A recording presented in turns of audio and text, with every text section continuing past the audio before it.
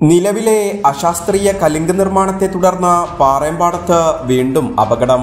റോഡിന് കുറുകെ അശാസ്ത്രീയമായി നിർമ്മിച്ച കലിങ്കിൽ കയറി സ്കൂട്ടർ നിയന്ത്രണം വിട്ടുമറിഞ്ഞ് സ്കൂട്ടർ യാത്രികരായ രണ്ട് വിദ്യാർത്ഥികൾക്ക് പരിക്കേറ്റു.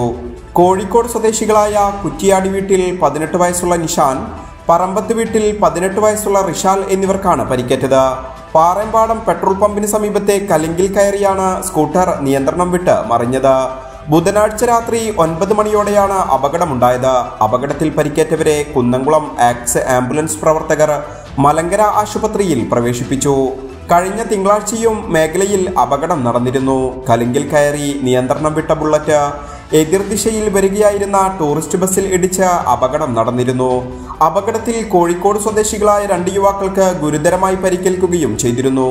ദിനംപ്രതി എന്നോണം കലുങ്കിൽ കയറി വാഹനങ്ങൾ അപകടത്തിൽപ്പെടുന്നത് പതിവ് കാഴ്ചയാണെന്ന് പ്രദേശവാസികൾ പറയുന്നു. സംഭവത്തിൽ റോഡിന്റെ നിർമ്മാണ പ്രവൃത്തികൾ പൂർത്തീകരിക്കുന്നതുവരെ മുന്നറിയിപ്പ് ബോർഡുകൾ സ്ഥാപിക്കുന്നതുൾപ്പെടെയുള്ള നടപടികൾ സ്വീകരിക്കണമെന്ന് നാട്ടുകാർ ആവശ്യപ്പെട്ടു.